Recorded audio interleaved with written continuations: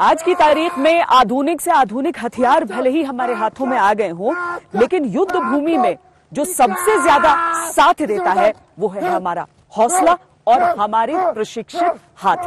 इसीलिए ये जो बेनेट फाइटिंग की ट्रेनिंग आप देख रहे हैं, भले ही ये परंपरा बहुत ज़्यादा पुरानी है, लेकिन आज भी युद्ध भूमि के संघर्ष, युद्ध भूमि की चुनौतियों को देखते हुए पूरी तरीके से प्रासंगिक है।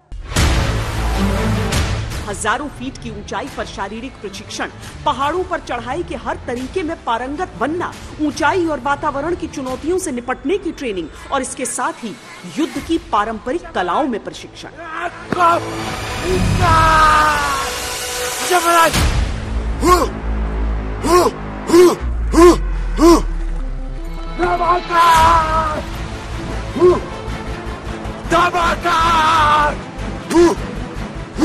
बिनेट का मेन मकसद रहता है रिक्रूट के डर को निकालना।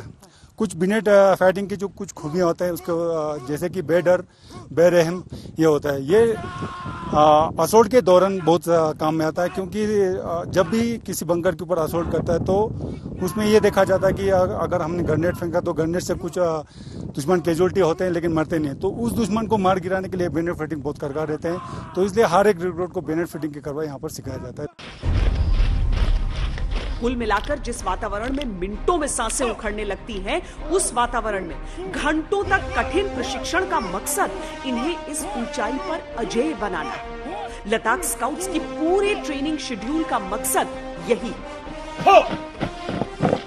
इंडियन आर्मी के जो ट्रेनिंग करिकुलम है वो ऐसा बनाया गया है और खासकर उसमें और थोड़ा मॉडिफिकेशन करके लद्दाख स्काउट यहाँ पे ट्रेनिंग सेंटर्स है उसमें उनकी क्षमता को जितने लिमिट तक हम ले जा सके, उसमें उन, वो हर चीज़ वैसे चीज़ हम एक जवान को रियलाइज़ करते हैं कि जो हमारे क्षमता है, जो आप नेचुरल होने के बावजूद भी उससे भी और ऊँचा लेके जा सकते हैं। तो ट्रेनिंग करिकुलम को हमने ऐसे स्ट्रक्चर किया हुआ, जिसकी वजह से वो सोच से भी बहुत दूर तक के हम उनकी क्षमता को और एक्सपेरिमेंट कर सकते हैं। लद्दाख स्काउट्स की तैनाती प्रमुख तौर पर लद्दाख की सीमाओं पर की जाती है। यानी पाकिस्तान की ओर लाइन ऑफ़ कंट्रोल से लेकर चीन की ओर लाइन ऑफ़ एक्चुअल कंट्रोल तक। ये तैनाती के लिए बेहद जटिल इलाका है। लद्दाख के पहाड़ 22,000 फीट की ऊंचाई तक जाते हैं। इस इलाके में ऑक्सीजन की कमी होती है। यहाँ बिना पेड़ पौधों के नंगी चट्टाने हैं तो ग्लेशियर भी हैं। इन इलाकों में भीषण ठंड पड़ती है। लद्दाख स्काउट्स के सैनिकों को इन भीषण परिस्थितियों के लिए हमेशा तैयार रहना होता है और पूरी ट्रेनिंग का फोकस यही रहता है।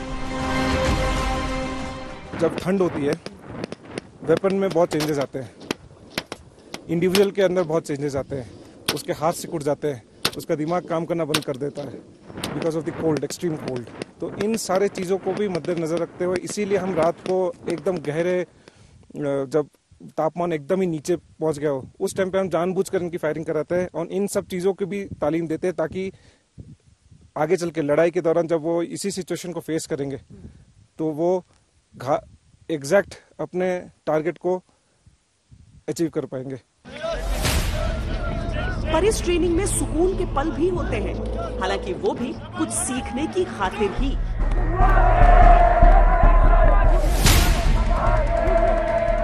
ये जो बॉक्सिंग मैच आप यहाँ पर देख रहे हैं जज भी हैं यहाँ पर रेफरी भी हैं टाइम कीपर भी हैं, दर्शक भी हैं, सब हैं।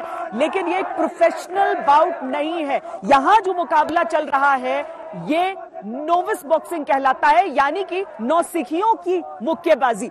अब ये क्यों हो रहा है? वो इसीलिए हो रहा है कि कोई भी जब सेना में भर्ती होता है तो उसके मन से डर को निकालना होता है। यहाँ डर को निकालने के लिए ये मैच का आयोजन किया जाता है। आपके मन में न किसी के ऊपर प्रहार करने से पहले डर या संकोच होना चाहिए, न ही खुद पर प्रहार से पहले आपको डर होना चाहिए। डर निकालना है। मारने का भी और मार खाने का भी। इसीलिए यहाँ पर इस बॉक्सिंग मैच का आयोजन किया जा रहा है। खेल, सैन्य प्रशिक्षण का बहुत महत्वपूर्ण हिस्सा है। अलग अलग रेजिमेंट के रिक्रूट्स की नैसर्गिक ताकत को निखारने के लिए, कुछ नए स्किल सिखाने के लिए और टीम स्पिरिट जगाने के लिए। थोड़ी सी भी ट्रेनिंग मिली थी अभी कि कैसे करना है बॉक्सिंग थोड़ी हमें पहले दो तीन दिन पहले पहले हमें दस दिन पहले हमें प्रैक्टिस कर रहा था धीरे हाँ। धीरे हमें अभी यहाँ पर हमें खेलने का मौका मिला हमें बहुत अच्छा लग रहा है अभी। हाँ।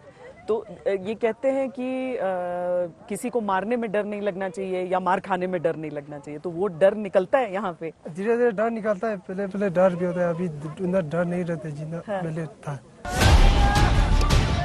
मुक्केबाजी के इस खेल में घूसे बरसाने वाले दोनों योद्धाओं के लिए ये खेल बिल्कुल नया है, और इसका मकसद भी यही है।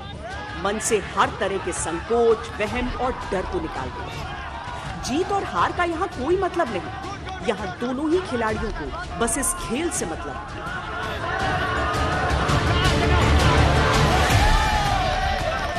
इसी तरह बास्केटबॉल जैसा खेल, जो इनकी शारीरिक संरचना को चुनौती देता है, एक नई प्रतिभा सीखने का मौका देता है। और एक टीम की तरह खेलने का अवसर और एहसास भी।